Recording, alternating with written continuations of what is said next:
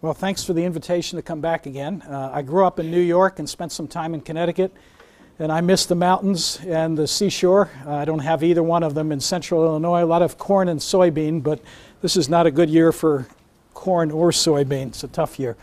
Uh, but what I'll talk about today are two different programs of research and two different training strategies as a means to examine uh, potential changes in brain and cognition as a function of things we choose to do in life, call them lifestyle factors. Uh, there's certainly a number of possibilities that are explored uh, these days in terms of um, lifestyle choices that we might make from uh, food, uh, some, some work that we've recently started with support from Abbott Nutrition, uh, fitness that I know a number of you are interested in, and physical activity, and I'll talk a little bit about today, uh, less so than the last time I was here. Uh, the importance of social interactions and social contexts, not something I'll talk about today, but uh, another factor that can be neuroprotective by virtue of uh, a number of epidemiological or prospective observational studies, and then something I will talk about today, and that is uh, cognitive training. And cognitive training is, a, is an interesting uh, issue and certainly a growing uh, cottage industry of research and intellectual property. And uh, this is actually, um, I'm, I'm, not endorsing anything, but this is um, the front cover of a, a, software package which is designed to enhance memory, decision making, attention, uh, sensory processing, and so forth. And this is one of the few products. There are many, many products. In fact, uh, a graduate student uh, recently um, Googled brain training for me and uh, um, got about, I don't know how many hits, but uh, the most recent where I heard about the number of hits was about 80 million. So brain training has become a hot topic. There are many products. There's a lot of hype and not much science. This product is an interesting one, Brain Fitness. It's by a company called Posit Science. And again, I don't endorse anything. I have no stock in any company. Uh, but this is a company started by a member of our National Academy of Sciences. Some of you may know his name. His name is Mike Merzenich. And Mike has done wonderful work on plasticity, mostly in monkey models, uh, but more recently humans. And what he's attempted to do, uh, he's had a few forays into the commercial world, one of them with Fast ForWord, uh, a, pr a, program uh, to purportedly uh, train dyslexics to make phonemic distinctions that are difficult to make, some success early on, maybe not so much success later. Uh, and more recently, this package, which is based on research on plasticity, often in animal models, but some human work as a way to address cognitive decline as a function of aging and to work with a number of clinical populations. but, it, but it is interesting that very few of these packages, uh, he is not the big seller. Mike has become wealthy, but not that wealthy. Uh, I often sit down with billionaires. Part of my job is to do fundraising, so Mike is only a millionaire. That's not that wealthy in my world anymore, of part of what I do, but uh, me personally, it would be a lot of money, yeah. Uh, but there are big companies like Nintendo that have products called Big Brain Academy and Brain Age that make the big bucks. And I actually, they have a talking head, a researcher on some of their products. And I actually uh, asked him how, how, that arrangement works because this is a neuroscientist from Japan. And he said, well, I, you know, my royalties were $2 million last year. So these are potentially big markets. The question is, do we have the science to justify the products? And what kind of science do we need? And what kinds of claims are made? And uh, I'm not developing a product here, but I will tell you a little bit about the science that I've been doing. And uh, that starts with uh, the next slide. And what we've been looking at, and, and, most recently this work has been funded by something called a MURI. This is a multidisciplinary research initiative from the Office of Naval Research. These are uh, transdisciplinary research programs that are competitive. Usually there's a request for proposals put out, and in this case, I believe ONR received 35 of them and uh, funded two. And my colleague on this project, a number of colleagues at the University of Illinois, Dan Simon, some of you have seen the gorilla video, same guy, uh, Monica Fabiani, Gabriele Gratton, uh, Wai-Tat Fu, uh, but also a collaborator at uh, MIT, and her name is Ann Graybiel. And uh, Anne, Anne, is interested in uh, characterizing learning in the basal ganglia and the prefrontal cortex uh, using single unit and multiple unit recording in macaques, spider monkeys, and uh, other kinds of non human primates. And this was an attempt to put together the non human primate work uh, with human work across different methodological techniques and different uh, species to examine um, learning, its instantiation of the brain, and also uh, potentially transfer of training, prediction of learning, and so forth. But the, the project I'll tell you about today is just a subset of what we've been doing as part of this um, joint project with, with Ann and MIT. Uh, and one strategy that we've been exploring, a training strategy, most of the learning work uh, done in, in the world that I live in is done looking at practice effects and not giving people specific training strategies as we might in education. But this training strategy, it's called variable priority or variable emphasis training, is a strategy that's been around for a number of years. In fact, it was first introduced uh, by a fellow by the name of Danny Gopher from the Technion in, uh, in Israel. And he used it in a very applied setting that I'll tell you about in a minute. But uh, the way to think about variable priority training is um, often when we think about training complex tasks that have many moving parts, what we might call multiple tasks, there are really two dominant ways of training. And one is part task training, in which we take the parts, we take the uh, coherent parts apart and train the parts separately and then put them back together. And the notion there is it's much easier and much more manageable for individuals to focus on parts. Think of driving as an example or learning to fly a small aircraft. There are so many moving parts there that it might make sense to focus on some of them and not all of them and then gradually put them together. And the other end of the continuum is called whole task training. And the notion there is we train the whole task, you get to do everything but the downside is that you often get overwhelmed by the hard task. I remember many years ago when I learned how to fly uh, small aircraft, there, there, are so many different things you have to remember. You certainly have to be able to, uh, to tune your psychomotor skills to be able to fly the aircraft, take it off, fly it, and, and land it, but you have to listen to air traffic control and you have to do navigational planning and a bunch of other things. And I remember the experience at first when I was a young uh, novice pilot. Uh, I was listening to air traffic control and I had to ask my uh, my instructor, who has, just like an instructor in an auto automobile, a separate control yoke and controls, so just in case they need to take over the control of the aircraft, they can. I, I said to him, I, didn't, I, I, don't think I'm listening to English when the air traffic controller is talking to me. And it was perfectly uh, good English. It's just it was a lot of jargon, and at the time I had to pay attention to the air traffic controller. I'm also trying to take off, which is kind of a high stress time, or land. So he would take care of the communication, more of a part task kind of thing, and I would take care of other aspects. So there are advantages both for part task training and whole task training, and there are disadvantages. I, the way I think about variable priority training is it sits kind of smack dab in the middle of this continuum. You get to train the parts, but in the context of the whole. And we could think of this as driver training in which you have a driving instructor and he might take care or she might take care of scanning for pedestrians and other vehicles and you're worrying about keeping the automobile between the white lines. So something or somebody else we might call it artificial intelligence or it might be a human would take care of other components.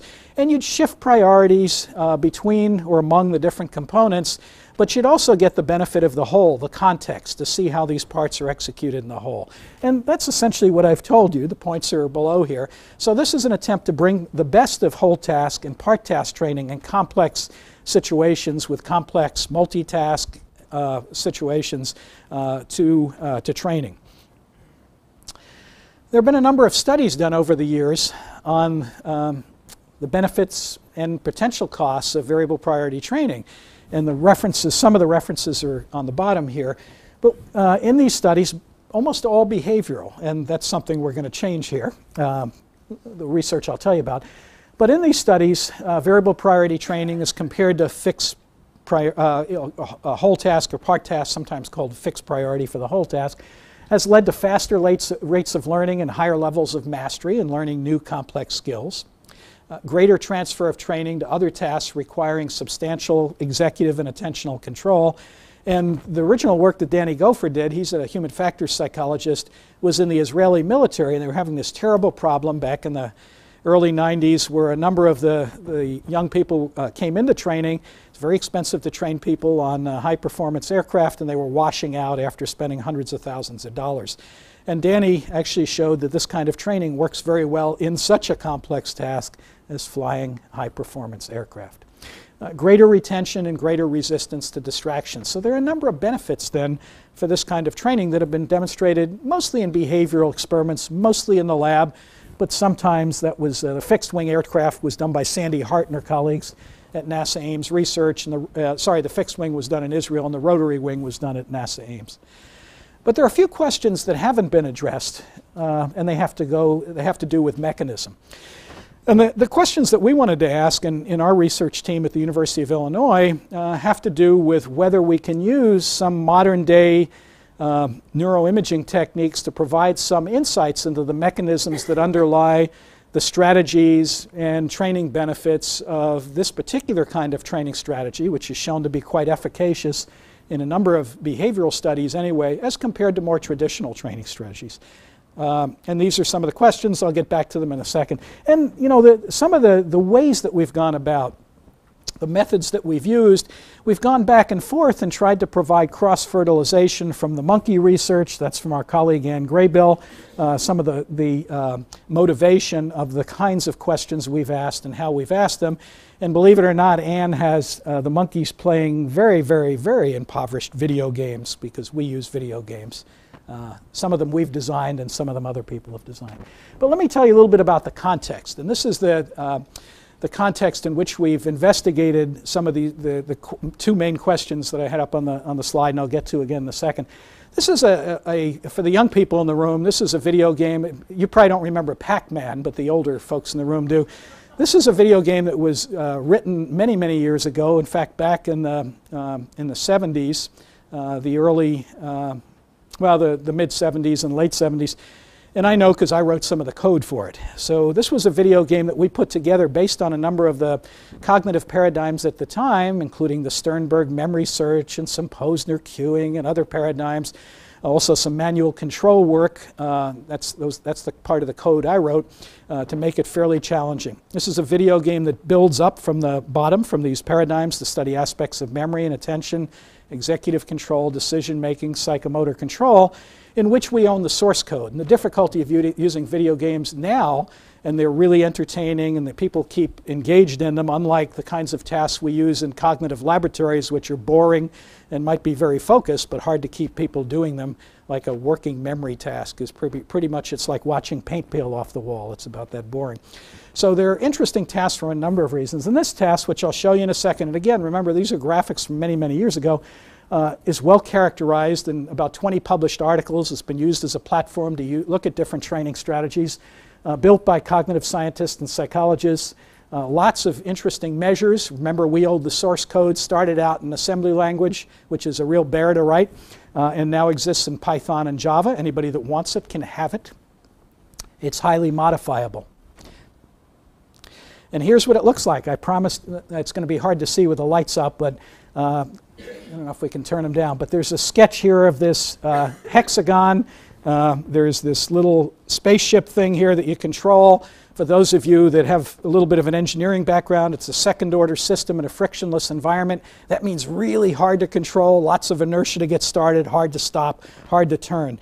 There's a space fortress in the middle here that shoots at you. Uh, you have to shoot back at, uh, at it with precise timing. Lots of symbols appear on the screen. They tell you to do different things at different times. And there are lots of uh, scores on the bottom. You can see at the bottom here, lots of different ways to get points and, and lots of different ways to emphasize different aspects of resource management, uh, aspects of memory, aspects of psychomotor control, and aspects of attention. So all of these uh, paradigms, I guess they went in the wrong direction. Uh, so you navigate the ship, which is pretty hard. You avoid missiles, and under certain environmental conditions that are, are cued by these symbols, fire at the fortress, identify uh, various things that come up and behave appropriately, do a lot of monitoring and resource management to get points in various different ways. So this game, although pretty boring graphically, although it looks a little better on the screen than, than it does here, requires a high degree of cognitive control, requires monitoring multiple sources of information, scheduling and planning different actions based on environmental contingencies to maximize scores, exercise inhibition when appropriate. You can't always make the same action, depends upon the context. Uh, switching between component tasks, maintaining multiple goals and sub-goals. So it sounds a lot like executive control and attentional control with aspects of memory and psychomotor control thrown in, and that's exactly what it is, and it's all modifiable through parameters. So we use this test battery as a way to address this issue of the underlying mechanisms, uh, one of the issues, um, and the efficacy of this variable priority training strategy. And this is the way, pictorially, the experiments went. Uh, we tended to put people in MRI machines because we were interested in brain structure and function, both for prediction and, examine, and examining strategies and proficiencies that are acquired uh, through this training. We used EEG and event-related brain potentials and something called diffusive optical imaging. Some of you have heard of NIRS, near-infrared spectroscopy. It's a kind of a cheap way with some downsides uh, to measure brain blood flow, and something called EROS, which many of you haven't heard of, I'm sure. And I think of that as an optical electrical analog. It looks like an EEG or ERPs, but doesn't have the inverse problem, so spatial localization is, is possible. But I'll just tell you about a subset, subset of the, uh, the measures and the, the studies today. And then we had a whole bunch of transfer tasks from flying in a high, high performance aircraft simulation. We have great simulators at the Beckman Institute uh, to other more laboratory-based neurological and neuropsychological tests. So the first experiment we'll look at asked a really simple question, and, and that's the question on the bottom here, and we had a few experiments that address this issue. Uh, can the training paradigms that we and others have developed be used as platforms to examine, uh, and I think of this as the, the issue is beyond psychometrics. So in psychometrics, we use neuropsychological tests to predict how someone might learn or how, someone, how so well someone might do in a job or so forth.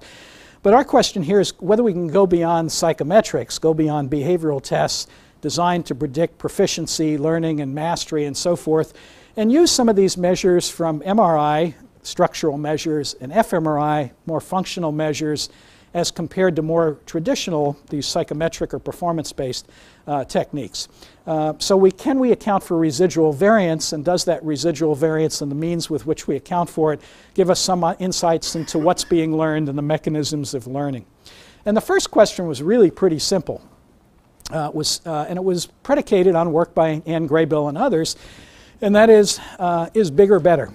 and is bigger uh, in a particular region of the brain called the corpus striatum of the basal ganglia uh, better in terms of simply volume. Can we use, after we first accounted for uh, variance in learning and learning this new complex but maybe not so graphically uh, beautiful uh, video game, uh, can we use the size of three different nuclei, the nucleus accumbens, the putamen and the caudate nucleus in, in, the basal ganglia, which we know from monkey and other studies it supports at least two of these nuclei, the putamen and the caudate nucleus, new learning of new procedural skills, the ability to, to be flexible, to shift priorities in, in collaboration with the prefrontal cortex, and the nucleus accumbens in a region of the basal ganglia that supports reward. Can we use the size of these nuclei simply in humans to predict residual variance in learning on this complex task. And everything I show you will be after we first factored out uh, in multiple hierarchical multi, multiple, multiple regression equations the contributions from uh, performance or psychometric measures, which are pretty small, as is the case for the most part. So what we have here on the x-axis, we have learning phase, and each of those numbers represents five hours of training. So we have 20 hours of training. And on the y-axis, uh, the correlation coefficient between size of these nuclei and learning. One learning score. We have many scores, and we can look at this with many, but uh, this is just a, a, simplification. And what we see here is that the, the two brain nuclei uh, that have already been shown to be related to new learning and flexibility and so forth are relatively stable in terms of the amount of variance they account for, whereas the nucleus accumbens, when things are new, there's a lot of excitement and reward, tends to downtrend uh, after a short period of time. So the answer to our first question is that yes, we can account for re residual variance and uh, a, a, small amount, but a, but a reasonable amount. And we've actually replicated, everything I tell you about has been replicated in, in either two or three different experiments. And in some cases, in the initial experiment, we use Monte Carlo analysis and bootstrap analysis to do a within study replication or cross validation. But everything's been replicated multiple times. But you know, we thought we could do better than what we get purely from structure. Actually, this is what the game looks like. Still pretty boring, but at least a bit more colorful. And the question is, what kind of, uh, what additional information? And again, we're still just focus, fo focusing on the basal ganglia. So this is not a scattershot approach. We're taking one region of cortex uh, that's play, that we know plays an important role in new learning, and we're focusing on that. Can we do better by looking at other regions? Well, that's an interesting question we're exploring now, and one would think so since the prefrontal cortex coordinates often with the basal ganglia in various aspects of executive control and learning. But uh, the, question we'll ask now is can we take uh, we have MRI data, we have fMRI data, the structural and the functional data. And uh, one question we can ask is with the functional data, now not the structural data, uh, kind of a simple first question is can we do a binary prediction and can we do it with fairly reasonable sensitivity and specificity? And uh, we did that by dividing our 40 subjects in this initial experiment, 75 in the second and another 35 in the third. Again, we've cross-validated this both within and between uh, studies by looking at the basal ganglia and just doing a median split in terms of how much you've learned. And our sensitivities and specificities were in the high 0.8s, so reasonable sensitivity and specificities.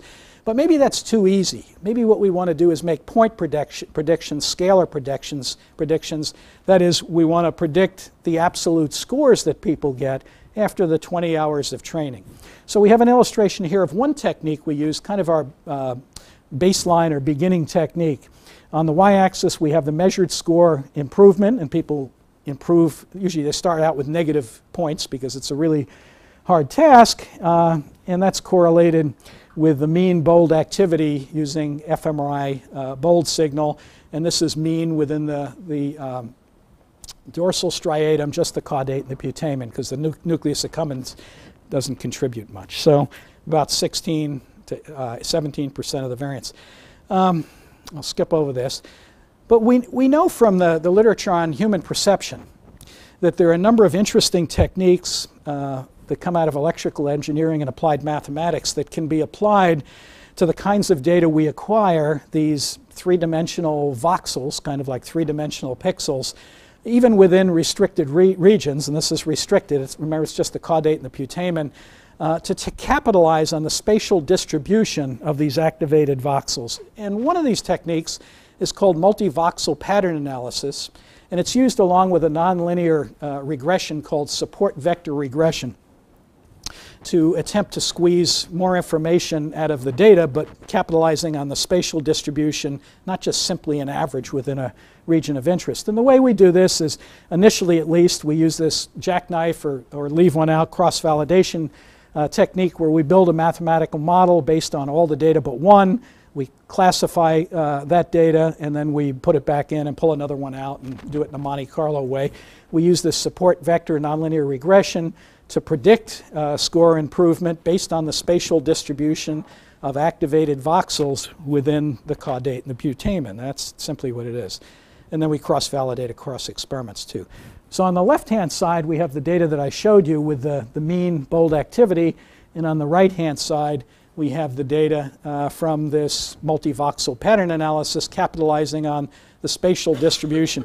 So what these data suggest is absolutely there's important information in the spatial de uh, uh, definition of uh, the spatial distribution of these activated voxels, and this can inform us that, number one, it can be useful in terms of uh, predicting learning. And remember, this 54% of the variance we can predict on the right-hand side there in, is in addition to about the 15% of the variance we can predict uh, with the uh, psychometric tests and another uh, few percentage of the variance with the structural data. So we can actually account for a reasonable amount of data. We've cross-validated this on two different samples and uh, now doing some other interesting things I'd be happy to tell you about. The interesting aspect of these data, however, for those of you, how many people know fMRI? I know a few of them do here. Okay, so in, in fMRI, everything's relative. You do a contrast, and you look at uh, activation of one condition versus another condition. But when we, when we look at this contrast, and that's, that's the, the basis of, of the bold contrast, the blood oxygen level dependent contrast that we use, mostly use in fMRI. Uh, but when we do that kind of comparison, we throw out some important data. And that is the, con the constant or consistent data that gets averaged out because it's the same in condition A and condition B. Uh, technically, it's called T2 star. And we all have it. We all collect it when we collect fMRI data. We don't throw it away. I bet you have it in the file. But we average it out because it's not the difference. It's not the contrast between condition A and condition B. This classification is not from the bold signal. This classification is simply from the T2 star that we mostly throw away. And then the interesting question became, because the functional activation, the bold contrast didn't predict a whole lot of the variance. Then the question uh, becomes what's the physiological basis of this constant signal that we throw away when we do the contrast? in uh, the bold fMRI contrast. Well, this required a student who just finished her PhD in electrical engineering and is now a professor at Ho Chi Minh uh, you know, International University in Ho Chi Minh City in, in Vietnam, Loan Vo. And Loan attack, uh, Loan attacked this question by using a number of different pulse sequences that are sensitive to different aspects of brain blood flow, uh, different as, uh, aspects of uh, integrity of white matter, something called diffusion tensor imaging. Flow was ASL or arterial spin labeling, and uh, other sequences that are sensitive to specific uh, uh, constituents of, of, proteins and so forth in the brain, something called susceptibility weighting in, imaging.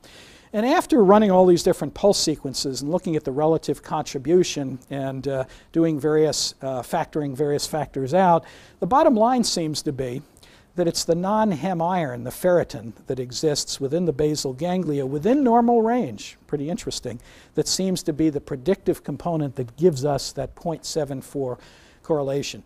There are lots of interesting issues. We're now running animal models where we can manipulate iron and looking at human models of iron deficiency. But these are not people that are iron deficient. So this was a, an interesting discovery uh, for an aspect of this data that predicts learning quite well within normal iron concentrations in the brain uh, that we normally don't look at. So that's part of that story. But the next question here is how, uh, the next question I'll tell you about is how is uh, variable priority training is compared to more traditional whole task training uh, reflected in changes in underlying brain networks. So can understanding of the brain networks, even in the crude sense we get from functional magnetic resonance imaging, we're not putting in single units. Anne does that, but she can't put them in many places in her monkeys, and uh, she certainly can't have monkeys do the complexity of tasks that we have our humans do. So can brain network changes uh, inform differences in cognitive processes associated with different training strategies? Uh, and this is via the analysis of a, a technique, uh, a number of different techniques, uh, but regional connectivity in a functional, not a structural sense. Of course, we can look at structural connectivity. So in the, in the first set of experiments, I was telling you about the pre-session, uh, the pre-training session. Can we predict training? Uh, in this set of analysis, I'll tell you about the pre and the post because we did similar analyses and ran similar paradigms prior to and subsequent uh, to the training. And the, the analyses uh, were both functional data, that is, data collected as people played the video games with reverse engineered fiber optic uh, joysticks and the magnet and button boxes and all the things we had to build that don't exist. Um, hence having uh, bioengineers involved and, and, MR physicists is a good idea in some of this work. And we work with them. This is clearly an interdisciplinary team. But looking at the behavioral changes, not just in learning, but in other tasks, EEG, fMRI, and so forth. But we'll stick, in this case, we are looking at the bold contrast. But let me first tell you about the performance, which was pretty interesting. And ONR, the Office of Naval Research, supports this, so I occasionally present to groups of uh, Navy uh, civilian researchers and military folks, including admirals. And I was a little hesitant to do this uh, two years ago when I first presented it because I, I, said, well, you know, the, the red line here is the variable priority. This is, these are learning functions over sessions, two hours a session, 20 hours of training, and this is the score improvement. So variable priority training certainly leads to higher levels of mastery and uh, more rapid learning rates, and that's a good thing. Uh, but look over on the right-hand side. We decided because we were interested in individual differences, so not, not just practice but training, um, but also individual differences, people that start out with much higher proficiency than others in this in doing really complex things, which is correlated somewhat with fluid intelligence. But we split the subjects into these two groups. This happened to be simply a median split, and the, the dashed lines on the top are from people that started out pr playing pretty well. So um, and we see here that um, the training strategy, whether the fixed priority or the whole task, which is blue, or the variable priority, the one we're interested in the red, it doesn't make a whole lot of difference. Some difference, but very little. But when we take those 50% of the individuals who don't start out very well, we see a huge benefit uh, from this strategy that focuses on flexibility, uh, cognitive flexibility, and so forth, shifting priorities among different components of the task with feedback. So when I presented this to the admirals, I was a little nervous because they were they they think of things differently than us scientists, and is this relevant to what we do? And uh, I got up and presented it, and one of the admirals got up and said, "Art, this is exactly what we need. Do you think we get Rhodes Scholars?" Well, not always, I don't think you get Rhodes Scholars. So the fact that the effects are larger for the group that started out poorly, I'm still not sure you need Rhodes Scholars to do this, but we, we have a look at it. So there are a number of different networks we can look at. And this is just simply a pictorial representation color-coded on these uh, uh, brain representations uh, on the left, right, and middle here of different networks. One of them is called a default mode network. And one way to think about that is the default mode is the yin to the yang of um, activated networks when you're processing information for the environment. Some have said it's due to reminiscence, essentially processing information internally. And it's an interesting network. It's color coded in red here because this is a network that shows uh, effects uh, due to aging and connectivity and activation and due to various forms of neuropathology. So this is a network that's clinically relevant as well as developmentally relevant uh, that seems to be active when we're processing information internally without any or much external stimulation. The two other networks, the frontal executive and frontal parietal, the, what, what they seem to do by virtue of a uh, large and, and increasing literature is listed on the top. Uh, the frontal executive network seems to uh, support stable, uh, sustained maintenance of task set. Remember what you're supposed to do, monitoring for errors, and maintaining associations between actions and outcomes of actions. The frontal parietal is a network um, that, and this is work done by Maurizio Corbetta and others, Steve Petersen, a number of other people uh, is thought to support rapid online filtering of attention, fil uh, attending to some things, not other things, top-down control, and aspects of working memory. And these are a few of the networks we are interested in uh, that might provide insights into the strategies that are being learned uh, as performance is being enhanced by this cognitively flexible variable priority uh, training strategy as compared to the more traditional fixed priority or, or uh, whole task training. Uh, just briefly to, to put you on the same page, so everybody's on the same page pretty much, one way to look at connectivity, simply put, is univariate connectivity between point A and point B.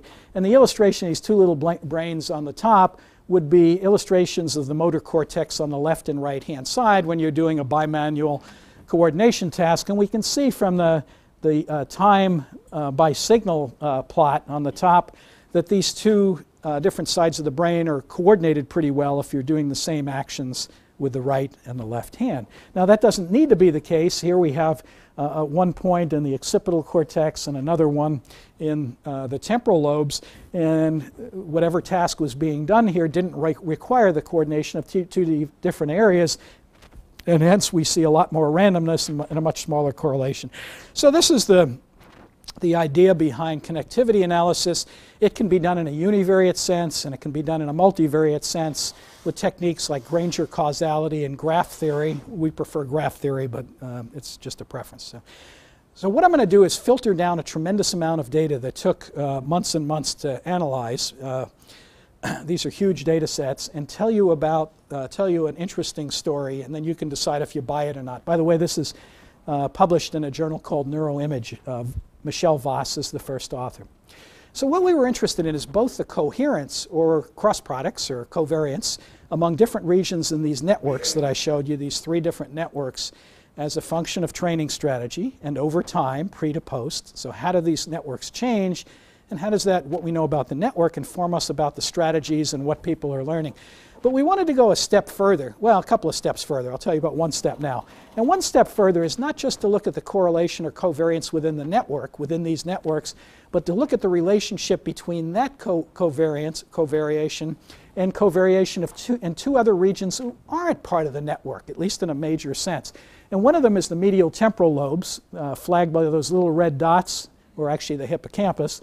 And we know that the medial temporal lobes are very important in relational, episodic, declarative memory. That is, putting different pieces of information into a coherent whole, like remembering a face with a name, with a profession, with what you discussed when you met somebody. And also, we're back now to the basal ganglia here. Uh, the caudate and the putamen are flagged on that slice on, on the right-hand side. The relationship between these networks, or I should say change in the networks from post, after training to pre, into these two regions because the basal ganglia plays a role, we know, in procedural learning. So we have two different regions that might change in their relationship to these other networks based on the strategies and what the strategies are emphasizing, whether flexible, declarative knowledge or uh, more procedural knowledge. And what we have here, and then we have two of the networks flagged on the top with those two little brains, the frontal parietal and the frontal executive. Uh, the variable priority is in blue and the fixed priority in, is in yellow. And what we have is a very different pattern here. The variable priority connectivity with the medial temporal lobes up on the left-hand side increases pretty dramatically over learning, purportedly on the basis of learning uh, the strategies that might be used in this fairly cognitively flexible training technique, learning different strategies when they're appropriate and so forth. So learning a lot of relational information. Uh, that's true for the frontal uh, executive uh, network for the fixed priority condition. But if we move over to the right-hand side, the right-hand plot, we see a different, very different panel.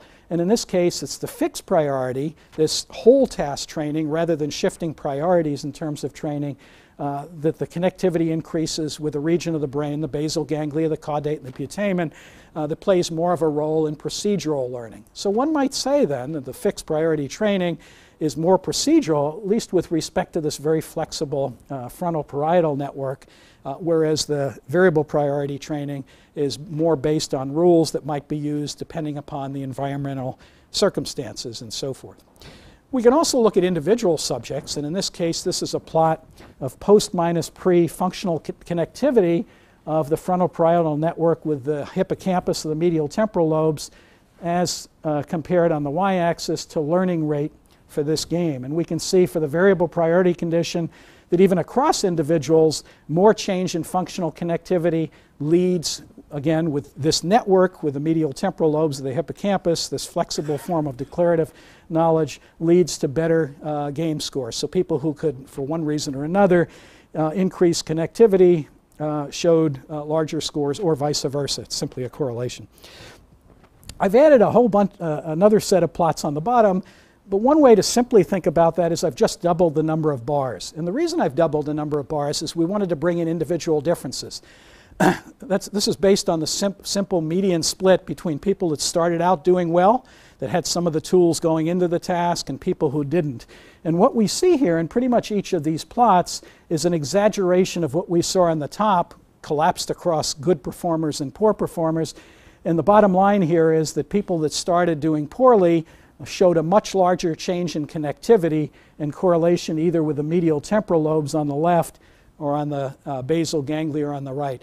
So I think uh, what we've gained uh, from adding some neuroimaging measures here to what we might have already known from the behavioral data is more of a and, a, and more of a uh, and a deeper insight into the kinds of strategies that people learn, the kinds of skills they develop uh, as they are trained with different uh, training techniques and as they differ in terms of the tools they bring to the task as, uh, in terms of the individual differences. So I think bringing to the, together the behavioral and functional brain data here can provide some interesting uh, additional insights. So uh, for this more than half of the talk, uh, we clearly, I think we clearly can do better than behavioral prediction of individual differences in learning and uh, enhance our understanding of how brain differences contribute to learning. Uh, we learned that spatial patterns and individual differences in regional activation are important and provide some insights about the, the sub-areas, the subcomponents of the nuclei we're looking at in terms of learning from this multivoxel pattern analysis. And different learning strategies display differential changes in connectivity with different brain networks and performance over the course of training. But there's a lot we don't know, and some of which we're exploring now. For example, to what extent do our regionally limited examination of individual differences extend to other brain areas? Remember, we just looked at the corpus striatum, uh, the basal ganglia, the dorsal basal ganglia, actually, for most of this work. And we know that the basal ganglia plays a coordinative role with the prefrontal cortex and the parietal cortex and so forth. So what if we exp expand our horizons, expand our viewpoint here? Uh, can we actually show better prediction? Can we understand uh, the networks in a more sophisticated way. Some of the network analysis gets to that.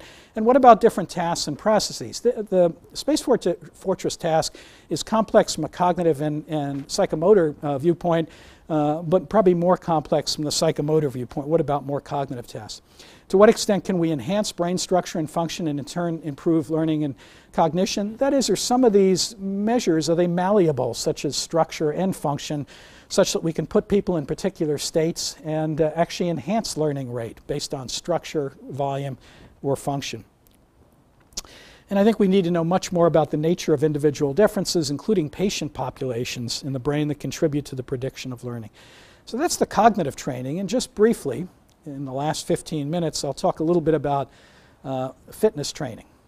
So we know that physical fitness reduces the risk of developing a variety of diseases, uh, but what impact does it have on the short term on cognition and brain health? And here's a typical American male, uh, not getting much activity. Uh, certainly we all need more activity, both older folks and humans.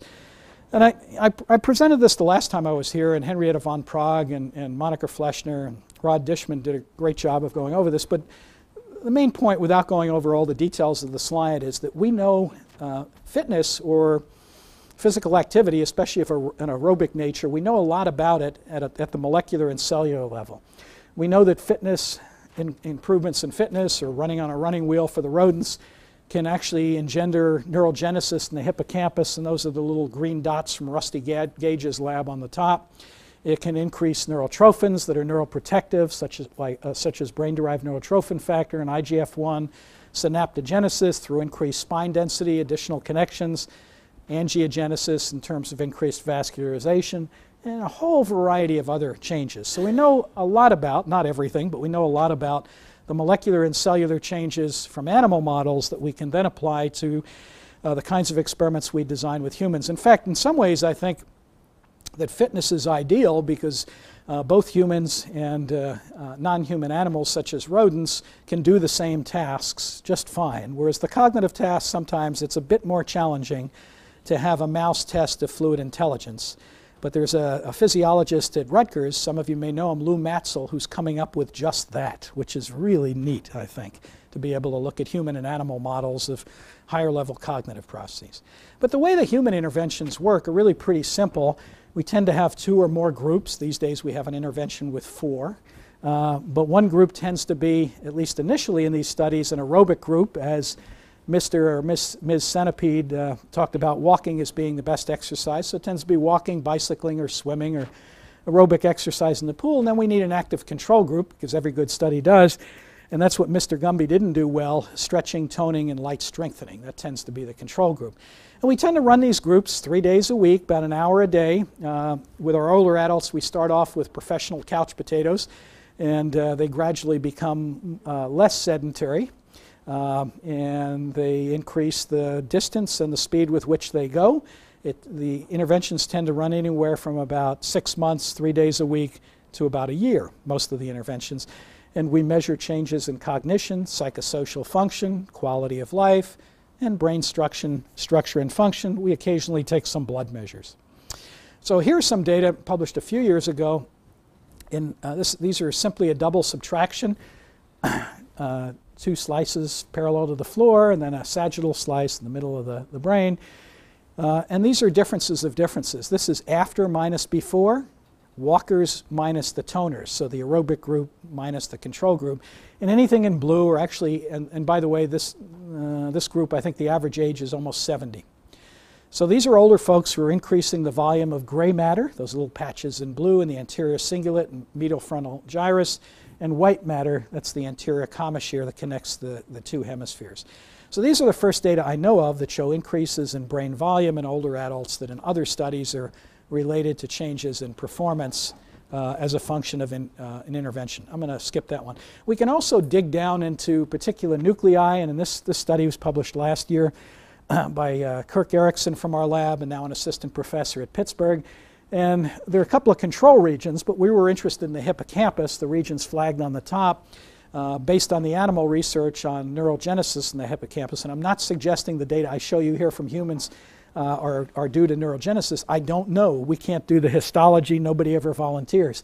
But what, what I can tell you is that the blue line is from those individuals who are in the walking group over the year, and the red uh, line uh, from those individuals, and this is a measurement three times before, six months and a year, from the uh, toning and stretching active control group, which show typical decline for a 70 year old, 60 to 80 years of age, whereas the walkers show an increase.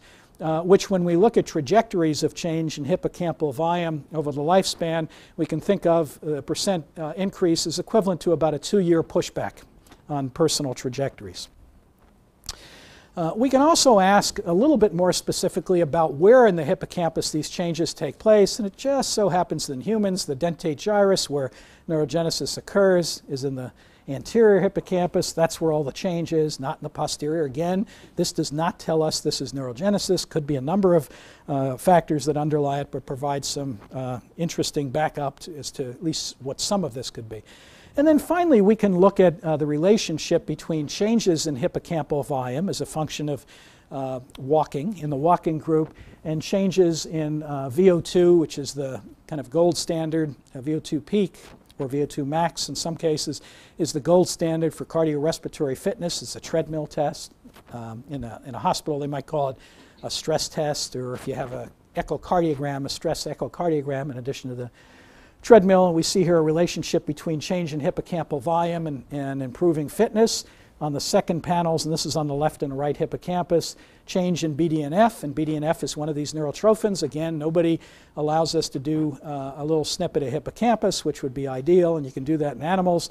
This is BDNF for blood, from blood, so there's always this question about the relationship between these uh, proteins in the peripheral nervous system or in uh, uh peripheral blood in the CNS, but still an interesting relationship and on the bottom with uh, changes in spatial memory performance, a kind of relational memory task. These are data from a more recent study that's in press, uh, Voss et al., in a journal called Human Brain Mapping. And I know it's hard to see, but those little brain panels on the right are flagged with different regions uh, of white matter. This is using diffusion tensor imaging as a way to look at functional integrity of white matter and its change as a function of fitness. And the solid lines represent the walkers. This is the aerobic group, and the uh, dotted lines, the stretchers, and we can see uh, a nice relationship in a variety of regions you can't see because you can't see the little green uh, traces on the brain maps here, and it's probably too fuzzy to read uh, these plots here, but a number of changes in white matter integrity um, as a function of this particular measure. Another interesting aspect of the, the fitness uh, training is that uh, for the most part, cognitive training tends to have specific effects. You train memory, you might get improvements in memory, but not in processing speed or attention, and vice versa. Uh, these are data from a meta-analysis, and there have been several since uh, this one here by Stan Colcombe and myself in 2003. The white bars indicate uh, training and walking and other aerobic activities among older adults, and the gray bars usually toning, stretching, and some light strengthening. And what we've done on the x-axis is uh, broken down the various tasks into executive control, controlled versus automatic, spatial versus speeded, and so forth. And if we did it today, there's more good memory tasks that have been used. And what we see are, I think, two interesting effects. One is across the board improvements in the effect size across all of these different cognitive abilities. Um, but a bigger improvement for executive control, and if we looked at relational memory there too. So uh, when I was asked by an admiral in the same meeting when we were talking about cognitive training at an ONR uh, meeting, uh, given all of the ambiguity in cognitive training and the specificity of effects uh, that we see, and not much of a generality. That's kind of the holy Monty Python's holy grail, if you can get generality with cognitive training. What we should do, I told the admiral to go take a hike. So, and he finally got it too. Before he shot me. So again, th these are changes in connectivity, but not with cognitive training, with fitness training. So we could also ask, and the little labels are here from the default network or the frontal executive network. Again, a lot of analysis goes into these data, but let me just briefly unpack them. We can look at connectivity in these networks before the, the fitness training, before getting more fit, walking versus toning, and the, the blue bars are the toners, the control group, and the yellow bars, yellowish orange bars are the walkers six months, 12 months. And what we see in all of these panels, or at least most of these panels, is that uh, there's a nice reliable increase in connectivity, the coherence within the network, the communication that's possible uh, in the walkers but not the toners. And by the way, that white bar at the end, uh, remember these folks are 60 to 80, uh, the, the uh, blue bar and the yellow bar. And the white bar at the end uh, represents the young people in the audience. Those are the 20 to 30 somethings.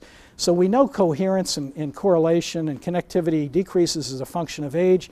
And now what we know is it increases as a function of improved fitness among older folks to become, in some cases, equivalent, in some cases, not equivalent, but in the same direction as the younger folks.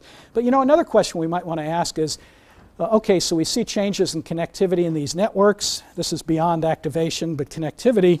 Uh, is this related to uh, changes in any aspects of cognition? And we created latent variables from a number of different tests of executive control and short-term memory. And what we have here are the correlations between changes in this connectivity in the default mode network and changes in these uh, executive control and short-term memory tasks. And we see small but reliable changes, especially in things like scheduling, planning, dealing with ambiguity, multitasking, and working memory. So the behavior of the networks is related to the behavior uh, on these cognitive tests. I'm going to I'm gonna, uh, skip the graph theory stuff, but that's interesting too. I'll skip this. We, we can also get a, a variety of other measures from the MRI and, um, and fMRI. And one set of measures is called magnetic, we can get from um, the spectrum of magnetic resonance spectroscopy. So we can look at different peaks, different metabolites, and the one we look at here is N-acetyl aspartate. Uh, which is a metabolite that exists often within cells, uh, neurons, and, and uh, glia perhaps. And we can look at it as a function of fitness level, and we find there's an interesting difference as a function, especially for the 70 to 80 year olds. That's the older old, but not the younger old. And in relationship to performance on this uh, working memory task called backward mem memory span. So we can use a number of other aspects of performance from structure, uh, diffusion tensor imaging, and volume of gray and white uh, in function and use MRS, and of course flow, which I don't have here. But one question we're often asked is, uh, you know, we've done most of our work with older folks, and we were interested in aging and whether there are uh, various interventions and lifestyle choices that can turn around the, the bad news to good news, at least temporarily. But we're also interested both from theor a theoretical perspective in terms of development and from a practical uh, perspective in terms of the increased sedentary nature of our young people, whether some of these effects are also observed and how similar they are, dissimilar they are in children. So here's some data from 8 to 10 year olds. If we stop at the, uh, start at the top left, one of the kinds of analyses we like to do is called a mediator analysis and we can look at the relationship on the bottom of the triangle between aerobic fitness and re relational memory. We have some evidence to believe there might be a relationship from the older adult data and some other data we have. And we can ask whether that relationship is mediated by changes in hippocampal volume due to changes in aerobic fitness. And on the bottom, we can look at kids. Again, these are uh, seven to nine year old kids. And uh, we can look at non-relational memory, that's remembering just faces, just names, or just what you talked about, or relational memory where you put it all together. Relational memory is what the hip hippocampus seems to focus on much more than item memory. And we see as a function of fitness, the lower fit kids have much poorer scores than the higher fit kids. If we move to the top right, that's an average for low fit on the left and high fit on the right of uh, the left and right hippocampi. Lower fit kids have a smaller average hippocampus on the, on the left and the right both, but averaged together most certainly. And on the bottom right, that's the relationship across about 50 children between relational memory on the y-axis and hippocampal volume. So a lot of what I told you with respect to older adults seems to be true with kids. Interestingly, the effects are even broader for children. So one of our control regions uh, for, the, uh, for our examination of the hippocampus with the older folks uh, was the basal ganglia, the caudate and the putamen that played such an interesting role in cognitive training. Not much of a role in fitness, although one might imagine it could with different kinds of fitness tasks that required more motor skill learning. But what we find with kids is that they get increases, they have differences and increases there. We're now doing randomized controlled trials supported by the National Institute of Child and uh, Human Development. Uh, these are just cross-sectional data. I'm going to skip that. Okay, so let me summarize this part of the talk, and I'm pretty much on time. Uh, first, relatively brief fitness interventions with older couch potatoes uh, improve a variety of perceptual and cognitive abilities, so broader effects than cognitive training. Increases brain volumes in regions that normally show age-related decline, including the medial temporal lobes or hippocampus, the prefrontal cortex, and other regions. And these changes are correlated with changes in performance. Uh, we observe changes in functional brain networks, often in the direction of younger adults, that are also correlated with changes in improved performance, mostly executive control. And I didn't talk about today, but we do work on anxiety, depression, self-esteem, and uh, self-efficacy, and there are interesting stories there, both about what self-efficacy has to look like to get people to stay in such programs and how self-efficacy changes as a fact, fact of uh, function of these programs. I'm going to skip the gaps in the knowledge. We can talk about that later, and I'll thank my collaborators. The work that we do, both with the training, cognitive training, and the fitness training, is clearly team based, interdisciplinary work. And there are a number of collaborators in a number of places at Illinois and other universities uh, throughout the United States, uh, formerly in, in Wales and uh, British Columbia. Uh, that's a picture of the Beckman Institute. Thank you.